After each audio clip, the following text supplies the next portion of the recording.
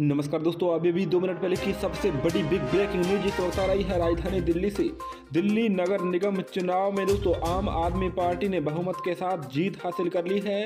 लेकिन गुजरात और हिमाचल प्रदेश के विधानसभा चुनाव में आपको उसके दावों के मुताबिक प्रदर्शन नहीं रहा है। अब आम आदमी पार्टी को दिल्ली के महापौर चुनाव में पार्षदों की खरीद फरोख्त का डर सता रहा है, जिसके चलते अब पार्टी अपने पार्षदों को लेकर दिल्ली से बाहर भेजने की योजना बना रही है। आम आदमी पार्टी के सूत्रों के अनुसार महापौर चुनाव में पार्षदों की खरीद, फरोख्त के डर से आम आदमी पार्टी की सभी पार्षदों को पंजाब भेजने की तैयारी चल रही है। बहुत ही बड़ी खबर दोस्तों, देर शाम तक सभी पार्षद पंजाब भेजे जा सकते हैं।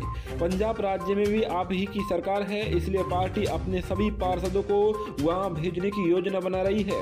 उप मुख्यमंत्री मनीष सिसोदिया ने कहा कि दिल्ली नगर निगम के चुनाव में आम आदमी पार्टी को मिले भारी बहुमत से भाजपा परेशान हो गई है और पार्षदों को खरीदने का काम शुरू कर दिया है। उन्होंने कहा कि भाजपा का खेल शुरू हो गया है।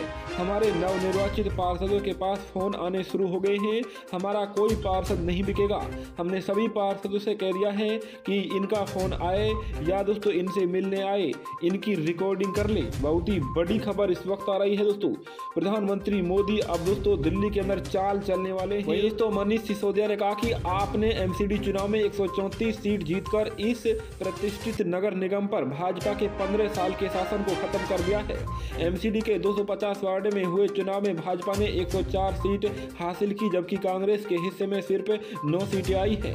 सिसोदिया ने कहा कि हमारे लिए यह सिर्फ़ जीत नहीं, बड़ी ज़िम्मेदारी है।